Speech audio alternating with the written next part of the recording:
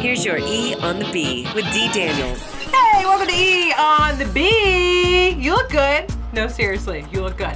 Hey, it's powered by Wade Schick's Chrysler of Culpeper, offering great deals on new Chrysler, Dodge, Jeep, and Ram vehicles. Jeep celebration events going on right now, baby. Wade Schick's Chrysler of Culpeper online, Chrysler of Culpeper.com, where the shit happens. Boom. Okay, let's talk about tonight.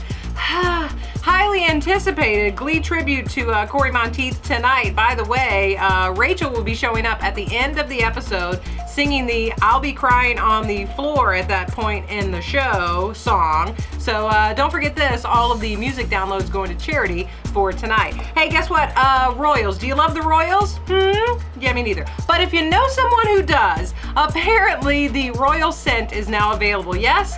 The perfume that Kate wore while she was gliding down the aisle is now available for $150 a bottle at henrybendel.com. Smells like flowers and money. Okay, and uh, you think that a huge mansion in LA that was once owned by Katy Perry would be like catnip to the real estate buyers? Ha ha! Guess what? Katy Perry also has a cat named Kitty Purry.